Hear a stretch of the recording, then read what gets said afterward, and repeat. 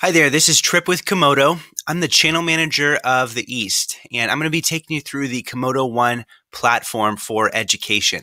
So take a look at my screen here. Right here, you have the dashboard overview. Right when you log into Comodo One, this is the layout that you'll initially see, unless you customize it. You have ticket status, uh, patch management, activity status, device type, operating systems, profile status, uh, security status, and then obviously the different um, sites or organizations that you have under you. Now, to custom tailor this for education, um, this is a multi tenant and multi administrative control platform. What does that mean? It means that school districts that have 10, 20, 30, 100 sites can put all the systems and devices under each of those sites in a nicely organized fashion under this one umbrella in a single pane of glass.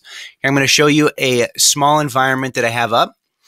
I'm going to go into the IT Security Manager right here.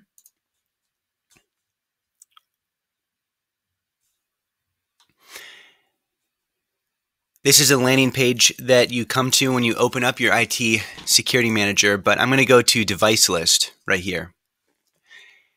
And this is a small sample environment. Um, I have you know, 10 or so devices, but I have an Android device. I actually have a Google Chromebook in here. I have a Lenovo Y500. I have a server. I have a Dell. I have two iPhones, so two iOS devices. Could have put an iPad in here as well, and then obviously a MacBook. So I'm getting the whole gamut. And um, what I wanted to point out though is with the multi tenant platform, you can put you know, school A, elementary school, middle school, high school, all under this one umbrella. And then you can put as many devices as you, as you want under each of these um, groups, if you want to call it that. So, very powerful platform. And let me just um, again go over uh, what we support. So, we do support all the major um, platforms out there. I mentioned Android, uh, so both Android tablets, Android phones, all Windows devices. Um, I just happen to have a Lenovo on this in this demo environment. Um, servers, Windows servers, and Linux servers. So we do support Linux as well uh, from a patch management standpoint um, and agent standpoint.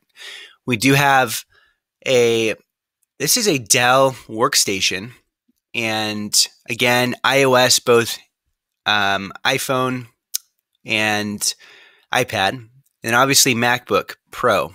And our eight, our um, endpoint security, advanced endpoint security, right now sits on Windows devices, Mac devices, as well as Android devices.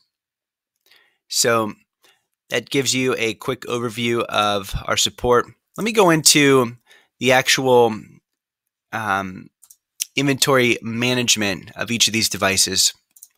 So if I were to select the Android device, so for mobile device management, for example, you could do a ton of stuff with these.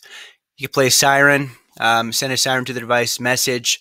Um, you could reset the screen password, set a passcode, lock the device down, change owner, um, and push various apps to it. Here's a, an example of the type of information that it pulls from the device. So you have the various device name information, OS, OS version, um, the type of RAM and internal storage that's available. And, um, you know, if it's an actual phone, it's going to give you the network. So this is a specific phone.